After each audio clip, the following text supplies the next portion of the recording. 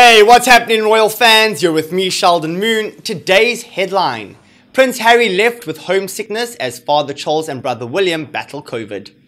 The Duke and Duchess of Sussex caused a global sensation in January when the couple announced their intention to step down as senior members of the royal family.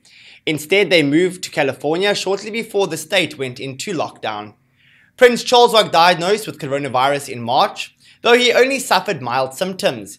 He self-isolated on the Queen's Balmoral estate whilst recovering. Prince William also caught COVID-19 in April, but only revealed this publicly in November. According to royal author Kate Nicholl, Harry felt some homesickness whilst his close relatives fought the disease. Writing for Vanity Fair, she said the prince experienced fleeting moments of homesickness. Prince Charles revealed he lost his sense of taste after being diagnosed with COVID during a visit to the Gloucestershire Royal Hospital in June. After announcing he caught coronavirus in April, Prince William explained he kept the secret at the time to avoid raising public alarm. He was treated by palace doctors and self-isolated at Anmer Hall in Norfolk. However, Miss Nicholl was clear that in general, Harry is settling into California very well. Writing about the UK, she said, There are certain things he misses, but nothing so much that he regrets moving. He found a kindred spirit in Meghan. They are creating a new life. They're so very exciting for them both. Meghan and Harry recently purchased a new 11.2 million pound mansion in the north of Los Angeles.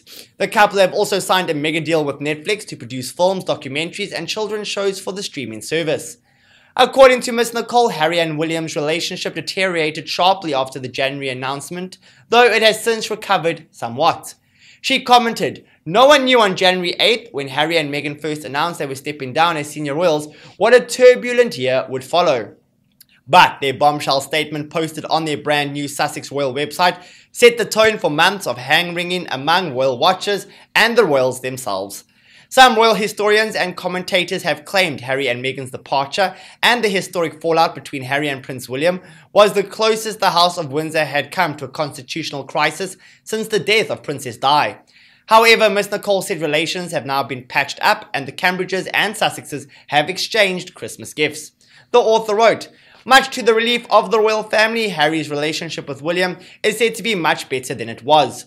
The brothers are in regular contact and the Sussexes have sent Christmas gifts to the Cambridge family. I have no doubt they will be video calling each other over the Christmas period. That's it for today, guys. Great stuff. Thank you for watching. Please like, comment, and subscribe. And I will catch you tomorrow with the latest installments. See you next time. Goodbye for now.